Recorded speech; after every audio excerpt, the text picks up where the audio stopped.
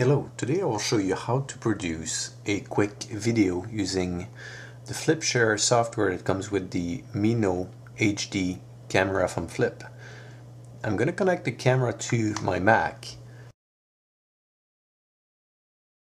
As you can see here, I'm going to pick one of the files to make a quick movie. So first thing I'm going to do is click on the icon movie and I'm going to drag one of the file I want in that movie.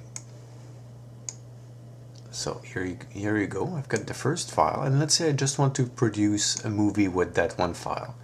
So I'm going to click next and I'm going to add the title and I'm going to change the title to be how to wash your hands and let's say I want to add some credits to Flip Mino at the end of the movie and now I'm set to go to the next phase where you can pick some music for your movie here I'm gonna select some pre-canned music coming with the software uh, let's say I'm gonna get the um, six string ramble. You can listen to what it sounds like.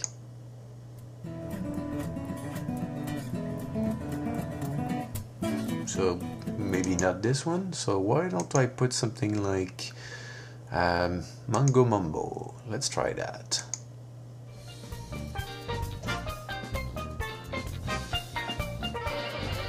So that sounds good. So let's go with this.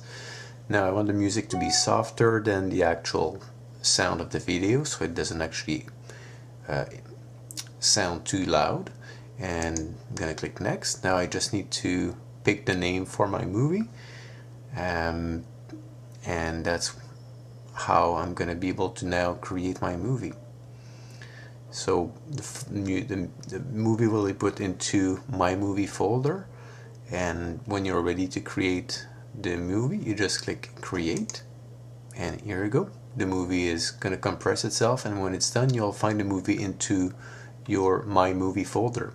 So that that's all there is to creating quick movie with the FlipShare software that comes with the Mino HD camera. Hope you enjoyed cheers